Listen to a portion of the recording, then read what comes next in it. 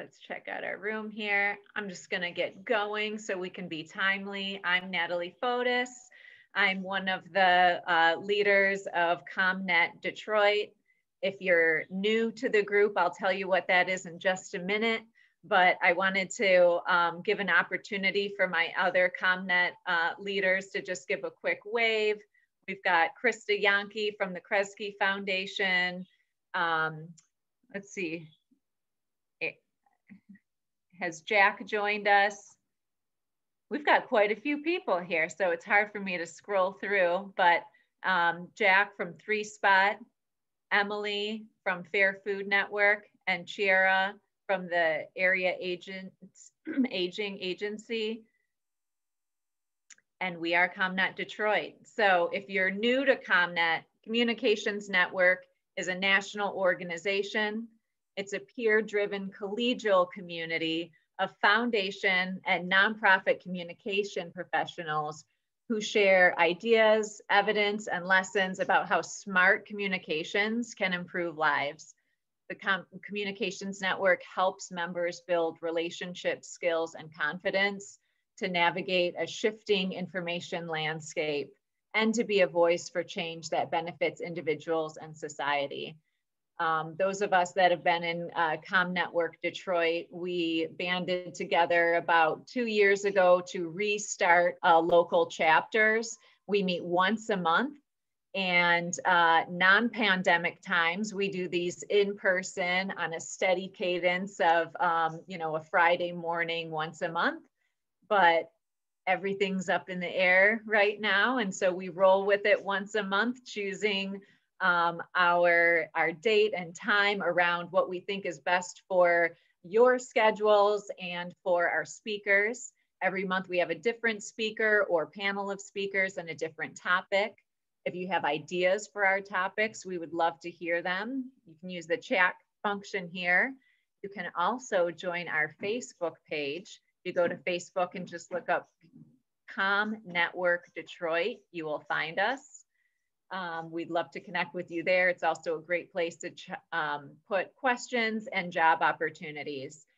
Um, we have an email list as well, uh, MailChimp. So for those of you who this is your first time registering, I'm gonna reach out to you after this to see if you'd like to be included in our email list. Um, thank you. My, my son's trying to get my attention, so that's exciting. But uh, I, I wanted to mention what's even more exciting is that Communications Network has been working for two years on a really big project and it launches tomorrow. So it launches tomorrow, Thursday, December 17th, and it's a report on the state of comms for good. It's a diversity, equity, and inclusion project that has case studies, resources, practical tools that can help you and your organization bring the values and the principles of diversity, equity, inclusion into your daily work and your operations. So that was a lot of talking. I would love um, to get to know all of you. If you could drop in the chat your name, if you want to include your organization, and what I really want to know is your earliest career ambition. So at Skillman Foundation, we love um, doing these fun icebreakers. And as I was thinking about today's, I thought about the first thing I wanted to be when I grew up was Amy Sacka, get ready for this, a cat photographer. So I would put silk scarves on my cats and take pictures of them. Um, maybe I'll bring that back up if Amy uh, is kind enough to give me some tips today but I would love to know what your earliest uh, career ambition was. Um, but I will also jump into today's uh, session. So visual communications. Most of us, when we think of communications, we think of words and much of our time as communicators is taken up by writing, whether it's social media, website copy, press releases, talking points, scripts, invitations, Um, thankfully, there's a lot of resources and thought leadership to help us make really careful decisions about the words we choose and, and, and how we structure our communications. You can find some of those exceptional sources on Communications Network website. But I think for me, what doesn't get elevated as often is the importance of visual communications. The photos we use, the fonts, the colors, the textures, and what those communicate to people. Um, and in events, the visual experience that um, our event guests have can, in, in so little time that you're trying to motivate them to really care and connect to your cause. So as I thought about today, um, I thought about, you know, graphic design, photography, and events as these three buckets. And in thinking of those immediately at the top of my mind, I thought of Andy Kopietz, who leads Good Done Daily.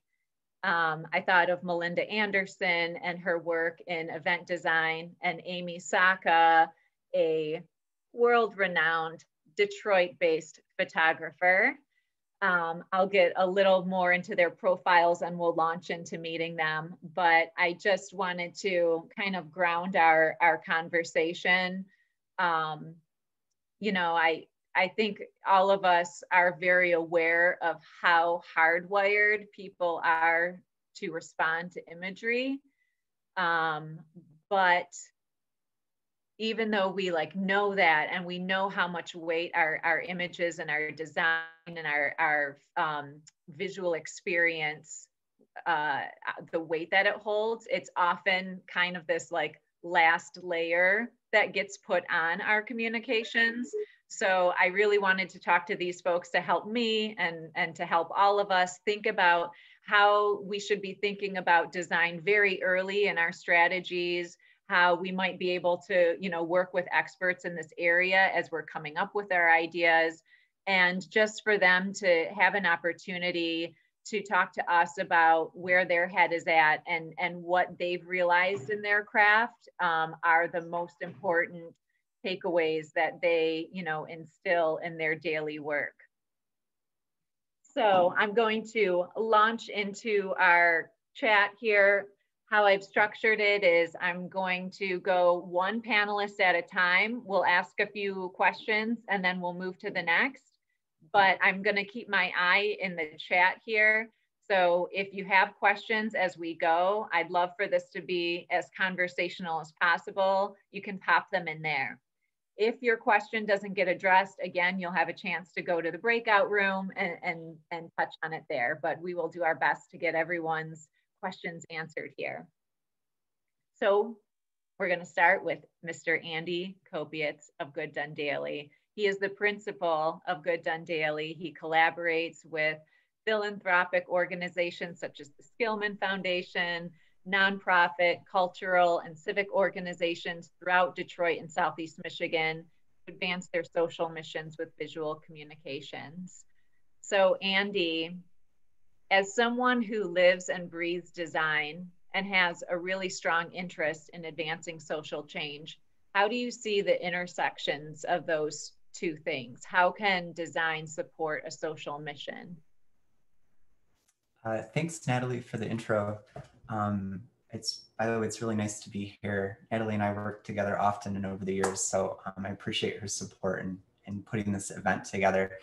To answer the question, um, I put some thought into this. I was Natalie was kind enough to kind of give some cursory hints as to what she would be asking, and at first I wasn't really sure how to answer the question because uh, it's a little bit complicated, and I could go in a lot of different directions. So I'm gonna just boil it down into maybe two ways that personally are, are working for me. So design as a practice can support social missions in like two ways. Uh, the first way I think is by elevating marginalized voices.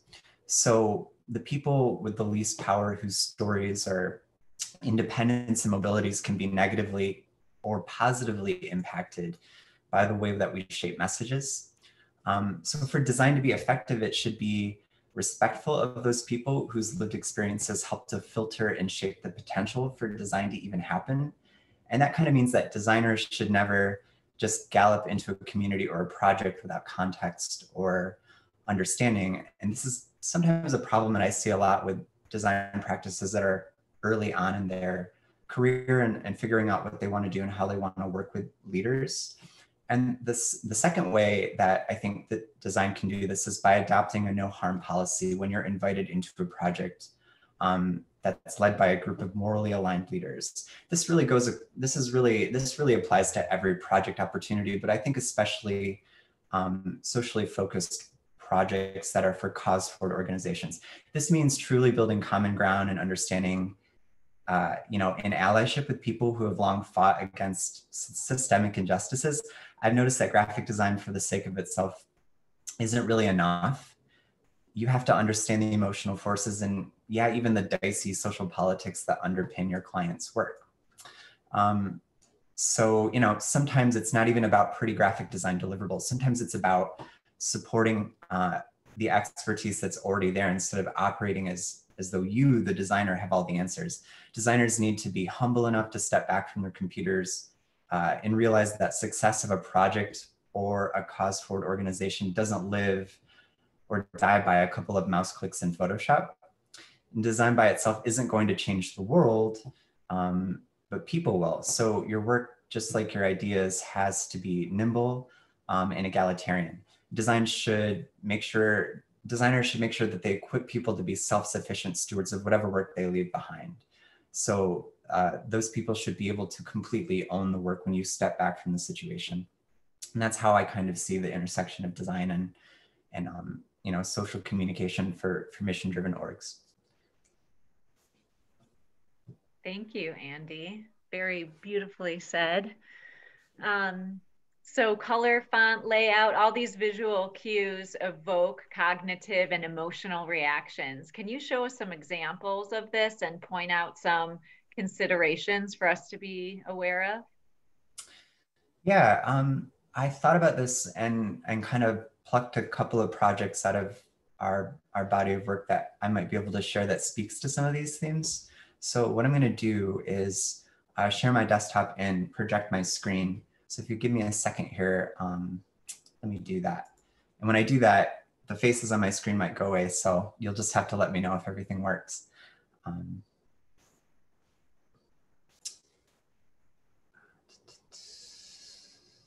share. Okay. Okay. So um, some of this I'm gonna, I'll try to be brief, but I'm gonna show you a little bit about how the sausage is made. And I've picked a few examples. Um, the first is Skillman Foundation, which, is, which Natalie knows very well because she works there.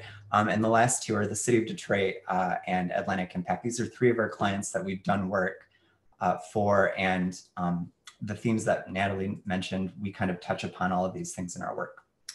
Uh, so, um, so the first thing is layout. Um, you know, and so this is an example of a Google document. And what I'm going to talk about is a report that Natalie and I just spent several months working on together um, that is looking at the legacy of the foundation's work and what they've done over the last 60 years. And so this uh, out of context is really the first part of how we set up a layout.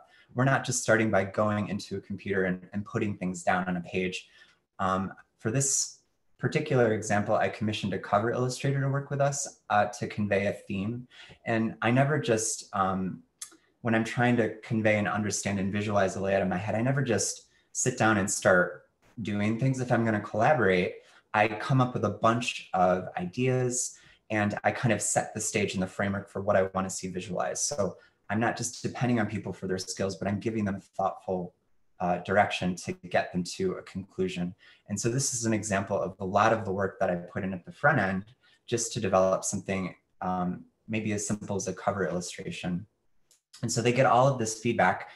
And um, what I what I was really zeroing in on was the work that the foundation is doing and the ways in which their grant making and their programming programming initiatives touch the different spectrums of youth that they help. Um, on different paths, you know, from early education to, um, you know, self-sufficiency later on in life and higher education. And these themes started to emerge. It was, you know, art, sports, academic, music. These are things that a lot of the youth that pass through Skillman tend to be um, involved with, and it's through Skillman's influence that they are really able to engage with these things. So, um, you know, working with the illustrator, how do we visualize these concepts uh, and emotively call out to them? And so what we come up with are these three loose sketches that really um, hone in on these themes a little bit and how can we represent them. And so um, you're not, you're not meant to read all of this gobbledygook on the side. These are notes that we shared with Natalie and her team while we were working through the process. But what we ended up selecting was number two because it had this nice balance of, of kind of a human quality, but also a diversity of perspectives at, at play. Um, and so uh, just zooming in on this, you get a little bit of detail where all of these themes sort of coalesce and come together. And then it goes from this uh, into the final form, uh, which we think became this really lovely cover that accentuates the legacy of the work that Skillman has been a part of. Um, and uh, you know, is diverse. And so that's another mistake that I see. I see a lot of nonprofit communications not adequately considering their audiences. We know that in Detroit, it's, you know, 84% Black city. A lot of the work that the Skillman Foundation touches happens to be kids who are in the Detroit public school system. And so through simple gestures like skin tone and color, and, and the differences of topics that they touch to their grant making, we tried to bring all of that together in a very thoughtful way. So it's really um, inclusive of the audience and the families that this report is kind of talking about. Um, so the next thing I'm going to show you, uh, again, another bit of layout. This is for the city of Detroit. So this is an exhibition that we designed that talks about vacant land use.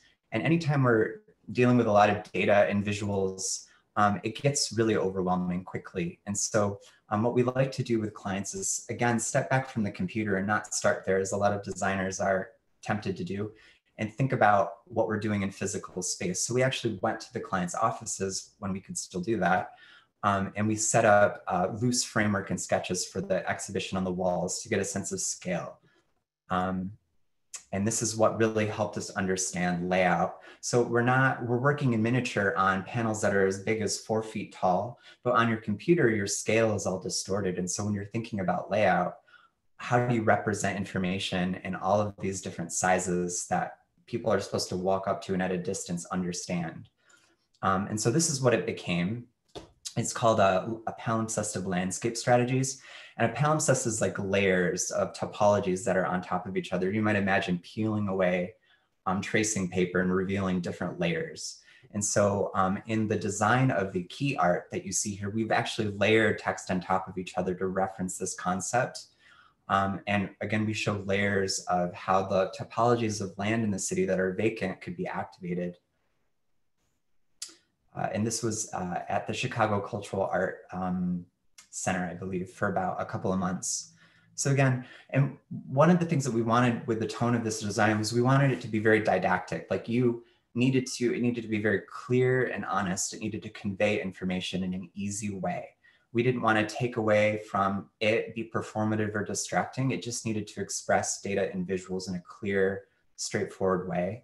And we weren't trying to show off. Um, and you know, even the color, uh, thinking about vacant land use and how the city is transforming in Detroit, it's always under construction in a way. And so we chose orange as a color that references this idea of caution or construction. It's a part of the visual landscape it's something that we're all familiar with. When we're driving and we see construction cones, we know that something's, something is in progress. So even the colors are uh, a kind of subliminal cue for, towards that.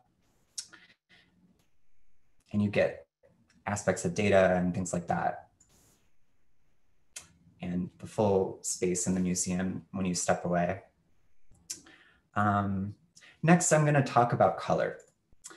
Uh, so this is a project with the city of Detroit. It was uh, master transportation strategy and planning, and it was to uh, get people involved in the aspects of planning the uh, the master plan because it hadn't been changed in over 100 years. And so we were thinking a lot about the landscapes and the neighborhoods in Detroit. And Detroit has this rich visual language and legacy of color, murals, different colors in their architecture in different neighborhoods. And so we wanted to represent this in the communications. Um, and this is what we ended up with. Um, these are communications that are essentially mostly digital now because we're living in a digital world.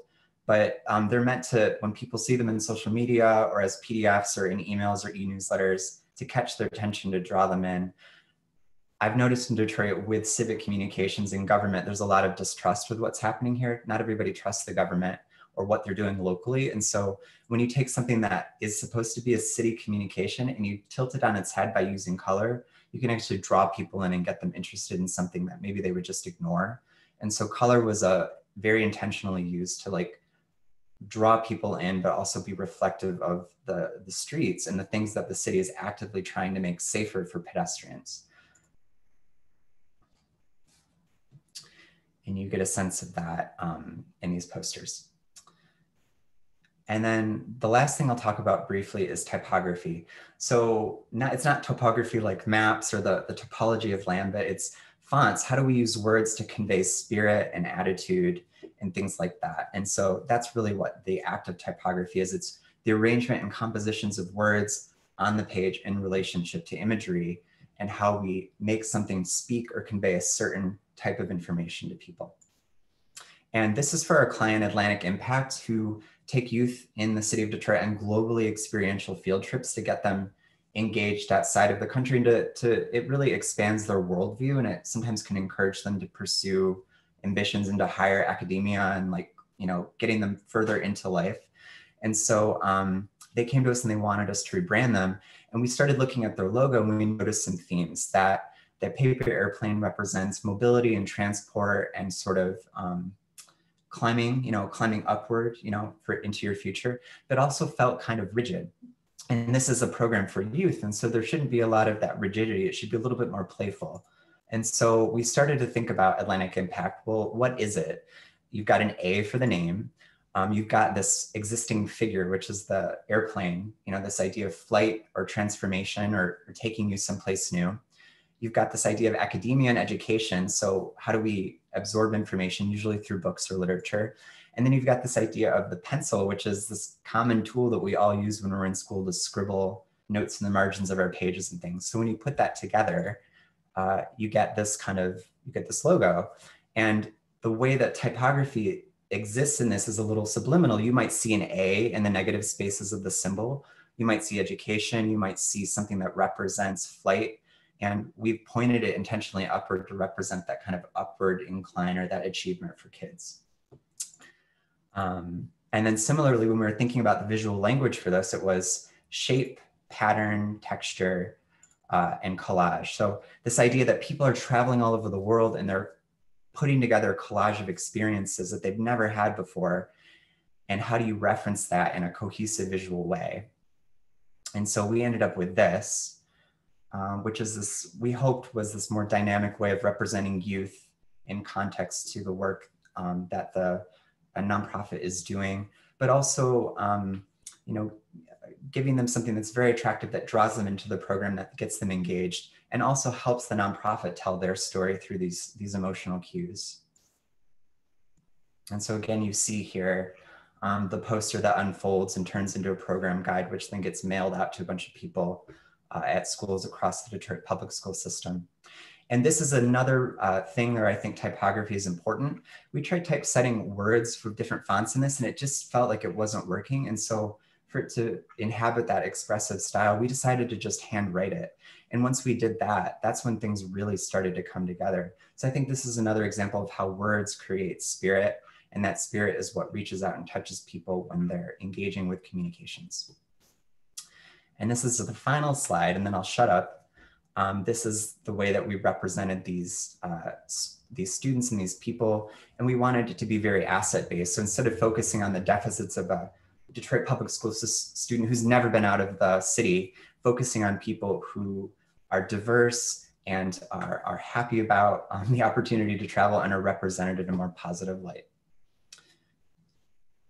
Thank you, Andy. So that, now you you can see and hear um, why I love working with Andy and wanted to make sure everyone got an introduction to him if you've not already um, met Andy. He is so thoughtful about the work that he does. Um, and the the outcome of that is just so beautiful and stunning. Thank you so much for sharing that with us, Andy. And now Thank you. I'm going to flip it to Amy Sacka, who is a documentary photographer and who's very passionate about celebrating the beauty of people and culture, particularly in Detroit and the Midwest. Amy is a National Geographic Explorer, a two-time National Geographic grantee, and a top 50 critical mass photographer. If you haven't had a chance to check out her photography, please Google Amy Sacka photography and get ready to be blown away. You'll see so many of the faces of um, Detroit. Um, and uh, the thing that I love about her most is that in those faces, you get a real sense of who the person is.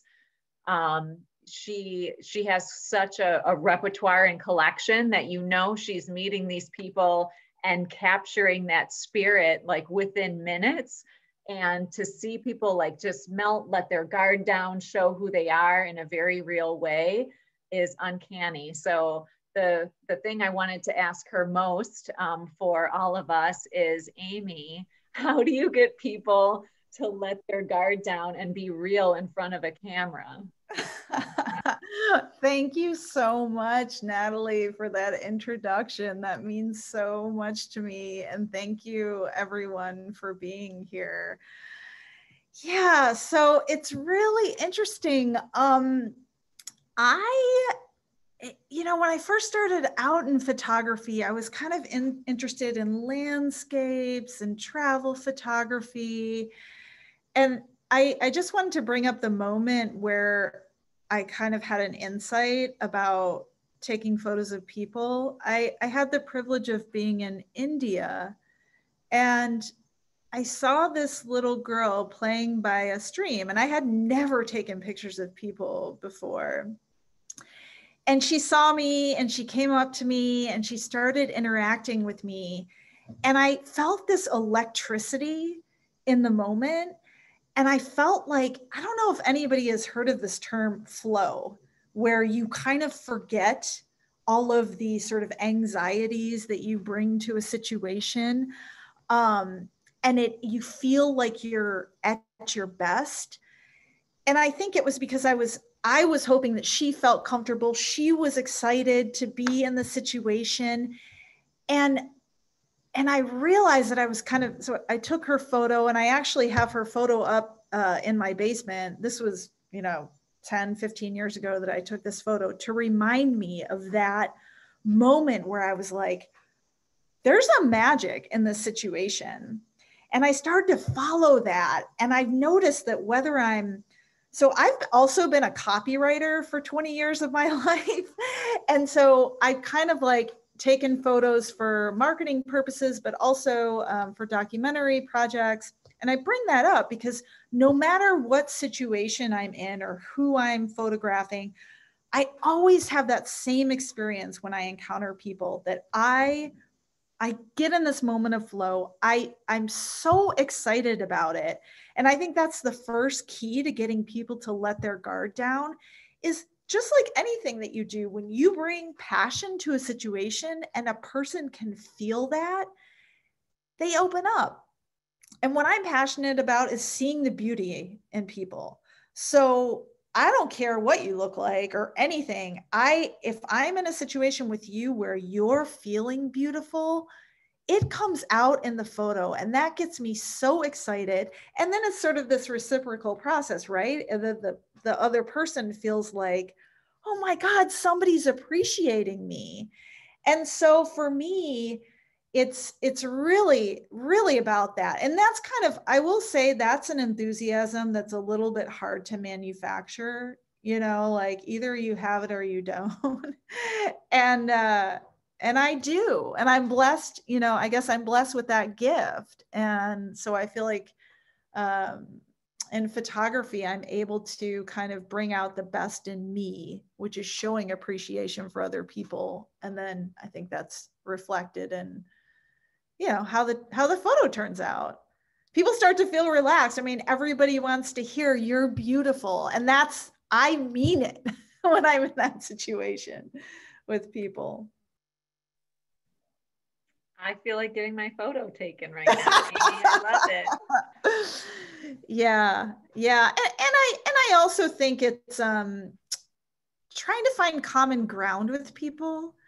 You know, oftentimes when I'm shooting for nonprofits, profits, for example, um, I'll be shooting um, teenagers who have been through like a really, you know, maybe like a tough time, and I will express my own vulnerabilities. Like if I'm talking to a teenager about making decisions in cut, like I will enter that discussion and I will say, you know, when I was in your age, I it was tough for me too, or I've I feel uncomfortable behind a, a camera.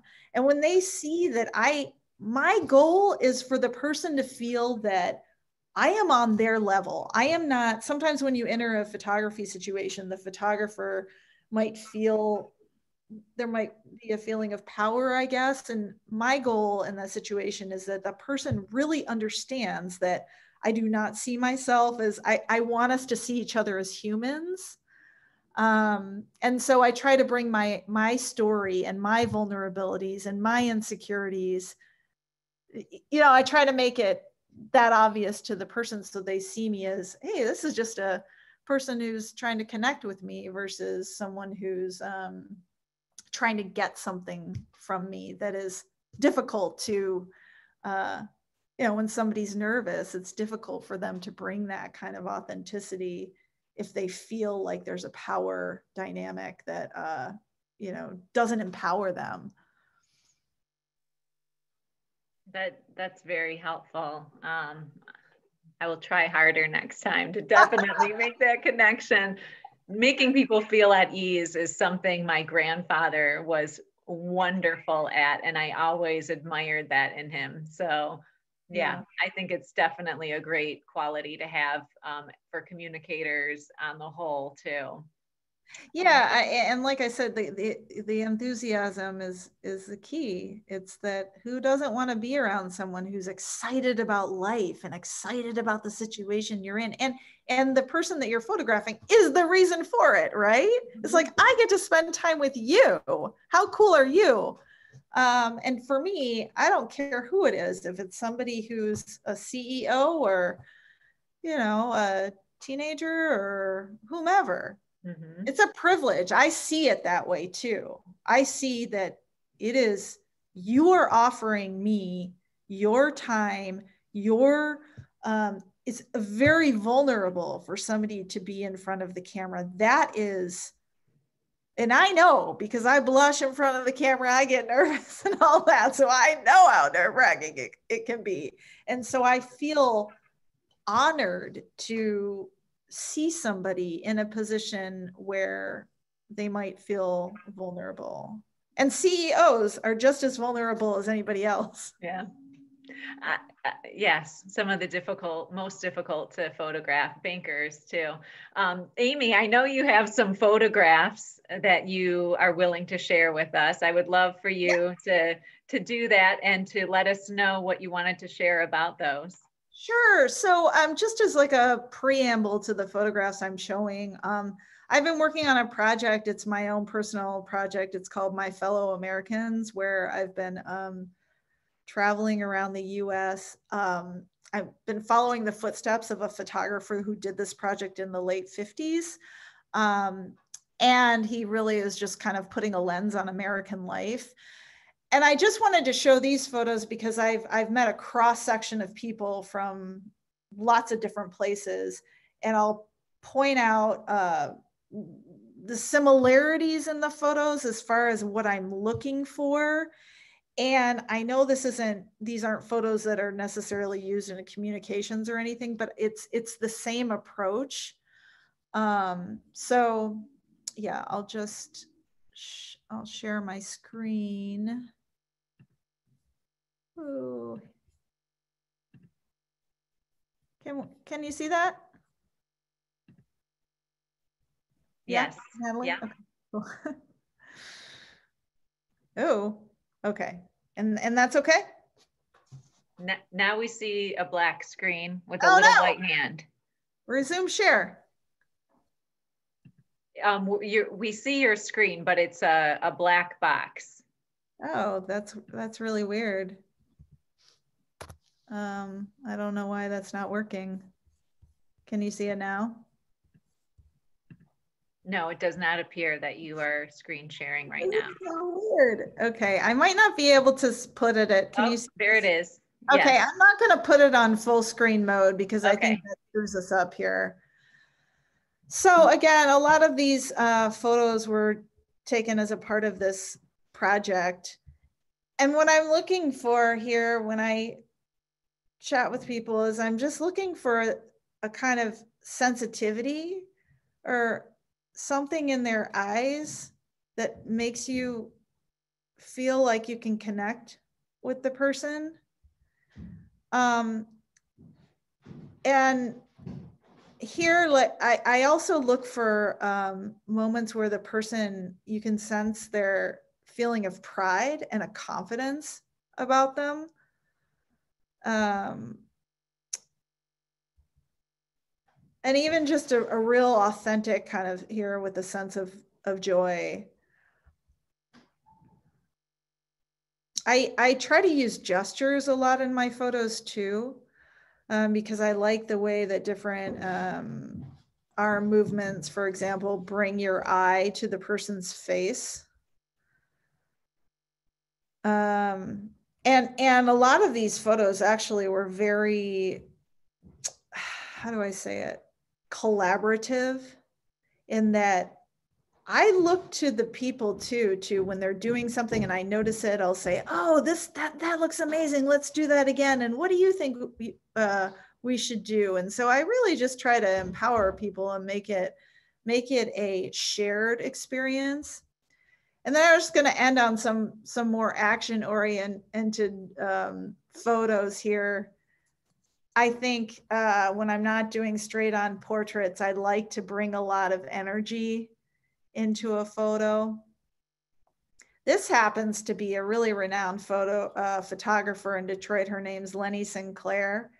Uh, and I, uh, I just happened to see this woman walking down the beach on Belle Isle, and I was like, she's amazing. I want her photo. And she put the towel over her head. And I said, oh, this is incredible. And then I started talking to her, and she said, oh, yeah, I'm Leni Sinclair. And I said, oh, I, I know who you are for sure. So I was really lucky to get that photo. But yeah, I look for these moments where there's a lot of energy and, um, you know, this woman here with a big smile. So it's a lot about uh, realizing moments of authenticity too. And I think some of that happens after the fact when I'm reviewing the photos, because I will take a lot of frames and then I'll I'll look at each of them later. But but most of my interactions last about five minutes. So it's pretty quick.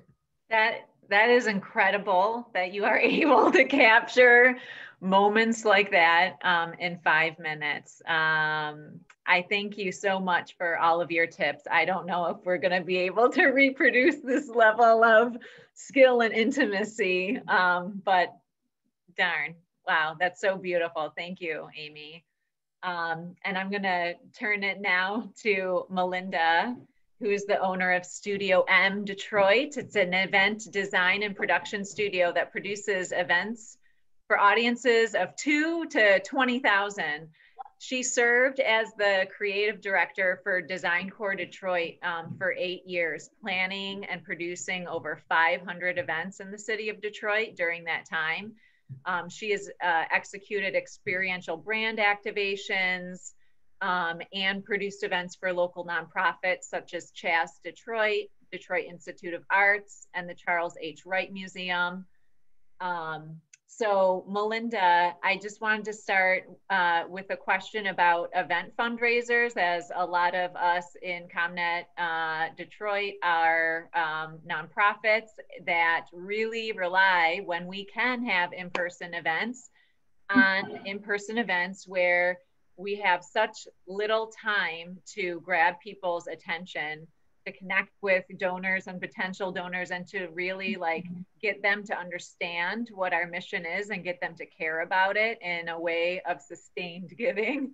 Mm-hmm. So, um, since it, events are typically so short format, um, how can event design be leveraged to tell the organization's um, story and to really make an impact? Sure. So thanks, Natalie. I think that first you really have to change your thinking a little bit. That um, I feel like the event is the entree, and leading up to the event, those are the appetizers. And so thinking of it that way, when we would produce events, Bravo, Bravo, for the um, Detroit Opera House, and then for the month of design, we had um, several appetizers that led up to the big entree. So with wanting to get um, the community to have fun with design and interact with design, we had an event called Drinks by Design. And it was a monthly networking event that took place in a different design studio um, every month. And it was, um, there were drinks obviously involved, and we were able to showcase a lot of local talent because when we first started the month of design, we had 85 events that happened all over the city, and it was just too overwhelming for people.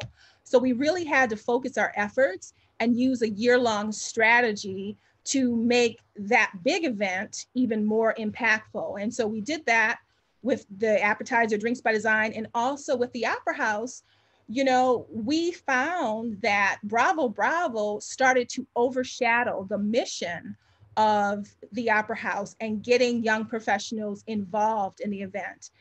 And you know that often happens a lot. So if you're feeling that wow you know people come to our event although a lot of people come to our event um, we don't see an uptick in um, you know engagement and supporters. You really have to think about a year-long strategy and what are the appetizers that will lead people to the big entree.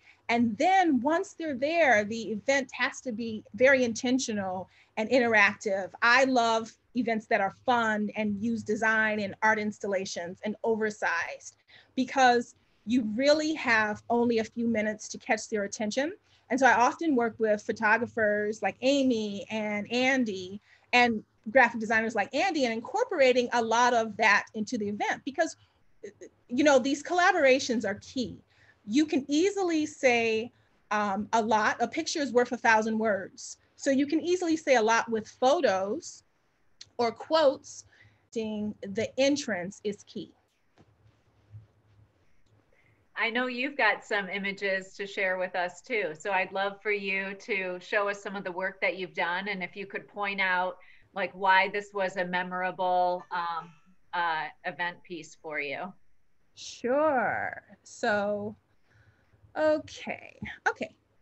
So let's see. Okay. So this, can you see my screen? Yes, we can. Okay, great. So on the right is a group. Um, they were called the Safety Shaman, and they were our human wayfinding um, guides through Eastern Market After Dark because people often felt um, that they couldn't navigate through the event. The mission of Eastern Market After Dark was to um, showcase this district and also for it to be a really great experience for the retailers. And so this was a very fun event. We um, supported a local design group that um, created these oversized signs. And then we supported local talented creatives that were the performers. And so that was a really fun event. And they were very popular, but um, you know, this is just a one way of, of really making it fun. And then this for uh, the DIA, this is Hot in Havana that um, I produced for them. And really starting to think through and telling your story through the floor plan. So when you first enter the event, there was a photographic moment, but it was just, you know, some little details that we try to pull into the event to make it more fun. And then instead of having a red carpet, we had a human carpet where you were greeted through the Romanesque hallway with um, African dancers that were trying to emulate um, this Cuban vibe. And instead of having, you know, I, I think that a lot of people in nonprofits and other events, and I've done it before, they have people check through registration and they have a step and repeat. Well, you need to kind of really save that and build the story and the excitement before you really just want people to um, take that photo. So I would recommend that taking the step and repeat is just, you know, probably the third way to impact folks. And then also simple lighting. Um, it's very inexpensive uh, to, to transform a space that people have been into uh, many times before. So just simple par cans and lighting um, is one of the ways to make an impact. Also custom furniture and um, collaborating with artists. On the left is an artist that we collaborated with to create custom imagery. And we also had a strong graphic designer that created the brand. And then we rented uh, furniture to really kind of transform the environment. But of course, nonprofits, you have a budget. So I would think of really bookending the experience, the entrance, appetizers leading into um, the, the bulk of the event and then a strong finish. So we did that through entertainment for this event. And then here's another example when I was when I'm talking about being oversized and impactful.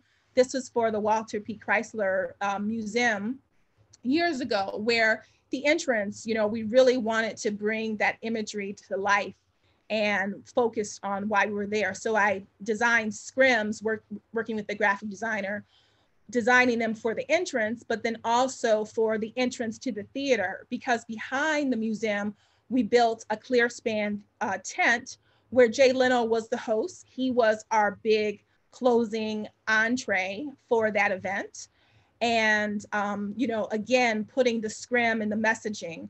But again, what these, uh, you know, nonprofits did is that they had a year long strategy of getting people to the event and then after the event, really engaging with them because the events go by so quickly.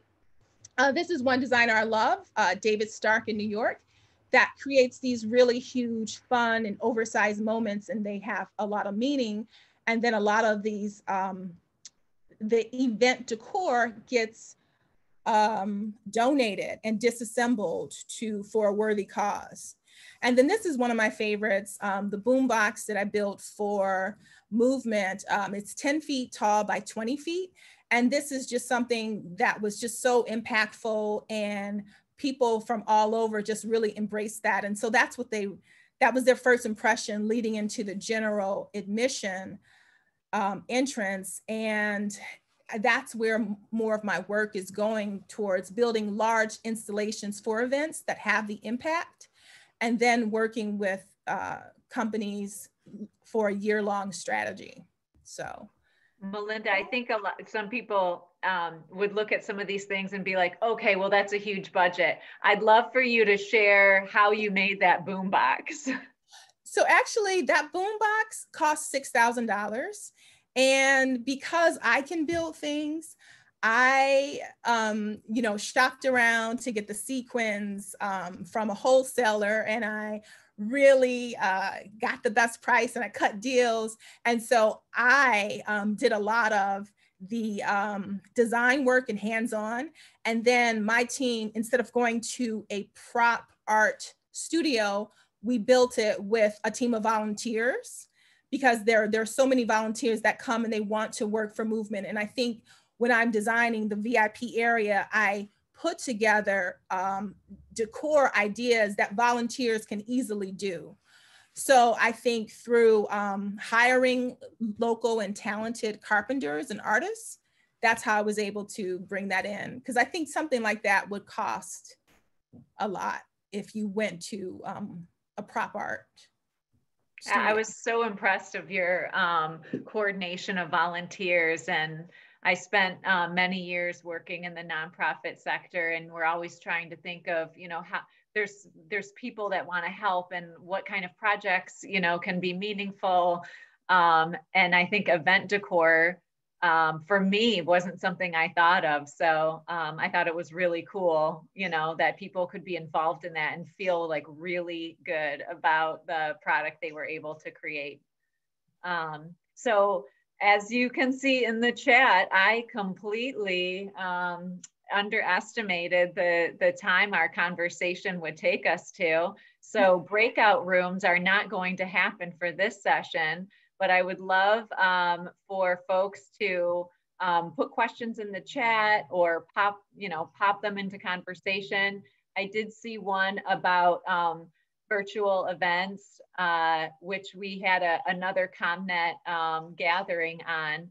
But um, if any, if Melinda or anyone on the call, if you do have uh, suggestions for virtual event tips, I don't know if you've had um, much virtual event planning experience yet. Oh yeah, I'm sorry. I'm, I'm reading through the chats. I was reading through the questions. So um, I did have one virtual experience this year where we produced an event for Quicken um, called Detroit Out Loud, and it took place in River Rouge Park. And early on, you know, the client, we had discussions should we do it in person or should we not uh, or do it all virtual. And so what we ended up happening what we ended up coming up with is that we came up with a hybrid model. So um, we rented a studio space for me to build a lot of the set design and we utilized the display group and i'm not sure if you if everyone on this call knows this but the display group has pivoted their business during covid to offer um, a sound stage. And what's great is that you can utilize their inventory. I've worked with them for 10 15 years so it was great you know going to pull stuff and then setting it up and doing these set designs. And then we would go out into the community and we would have days that were scheduled to do live interviews or tours or things like that. So I think that especially after COVID um, really subsides, I kind of hope that virtual events and hybrid events that that will still stick around a, a little bit. Thank you. I see a question from Jay Wall to Andy. Can you tell us about the integration of messaging, copywriting, and graphic design. How does that usually work in your process? Uh, yeah, thanks for the question, Jay. Jay's a friend from Canada who's joining us. Um, and he runs a really great design practice out of Toronto called Rally Rally that you should check out. Um, yeah, for me, I try to understand um, early on what are the concepts that we need to address through design. And then um, because we're not uh, people who typically write words or copy, um, we try to work with others in our sector who are more cause forward focused copywriters so they understand the kind of vulnerabilities of um, nonprofits with social missions and the intricacies of really getting into the details of that. Um, an example of that is a bit a bit with Amy. Amy and I work together a fair amount on that because she has a background in nonprofits, but also in the commercial world with copywriting. So when I'm trying to kind of meld and uh, bring those things together, it's always early on sitting down at the table with the client, perhaps even someone like Amy, and then thinking through tactically uh, what are some ways that we can boil down or introduce a message into the into the work. And then on the back end once we have that information amy and i are sometimes we might be sharing sketches back and forth. Where i'm thumbnailing things and saying copy placement is going to go here. We need to think tactically about how we're going to fill in this space but also um, zero in on the message sometimes Amy and I are working on copy development for websites, nonprofit websites.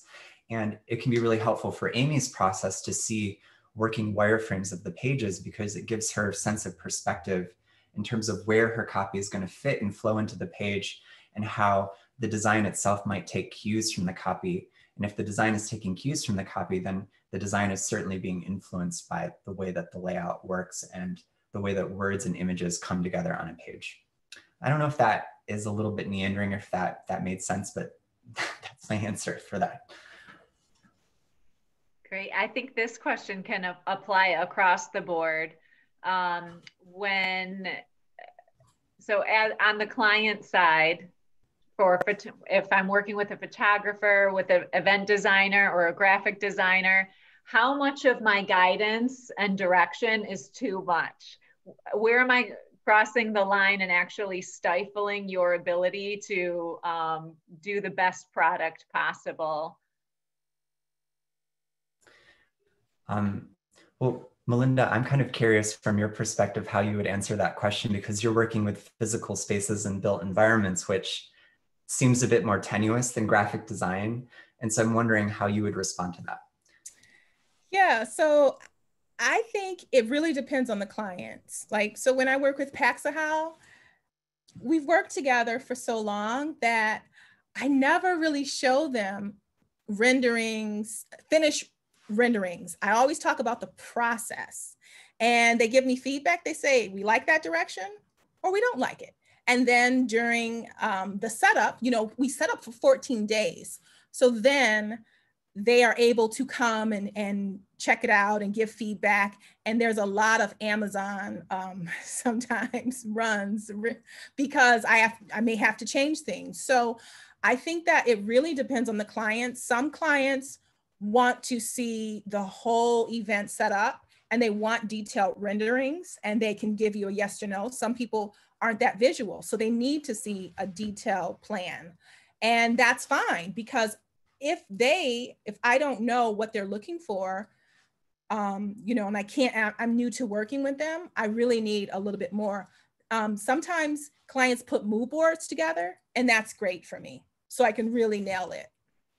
So it, it really depends, but um, sometimes it's tough because if I'm setting up for a couple days when the client wants to come and see progress, you know, a lot of changes can then happen. Thank you so much for answering that. And I'm sure Andy thanks you too. I think he wants me to leave the room if he's going to answer it, but we have another um, question. Do you want to take it? Uh, no, well, I'll just, I'll say it like, I mean, Nat- Natalie's really one of the, the unique situations that we have in this space. She's easy to work with. She, I think, is collaborative and wants maybe different ideas, but um, I th- actually think the more involvement, the better. And I think there's a lot of designers that wouldn't say that. Usually, designers want to be over here in a silo. I actually don't think that's how effective communications work in the nonprofit or cause forward space works. I think stakeholders have to be as involved as possible. And yeah, that gets a little bit messy, um, but the outcome is almost always more rich because you're um, building consensus and you end up in a space where people own those ideas and then they're able to take them forward even when you stop and step back from the process like people need to be able to own things and that buy-in at every stage is critical. So the more people you can involve especially in executive leadership the better. That that is great. And um, i just wanted to thank the panelists andy melinda amy. Thank you so much. I think we could go on for the rest of the afternoon. Um, but i will respect your time and I thank you so much for giving us this insight. I, I do want to acknowledge we did have a question in the chat about um, uh, uh, infographic and um, and design. I think that is probably going to deserve its own session in 2021. So we'll definitely, you know, put that on the list. If you have other ideas of sessions that you would like to see, speakers that you want to hear from, um, please uh, uh, send me an email. You'll get an email from me post this event to make sure if you want to be on our email list and are not already on there. Another way to contact us is through the Facebook group, which is in this chat, or you can just go to Facebook and uh, search up Com Network Detroit. I want to thank Kareem Alston, who is on the line from Communications Network Na National. Kareem set up this call for us and did the hard work of doing um, breakout groups. I'm sorry that I didn't use them, Kareem. I really do appreciate um, you putting in that effort, um, but our conversation was too rich to be siloed. So thanks everyone so much. And we look forward to having you at January's event. Information soon to come. Thanks everybody. I really appreciate it.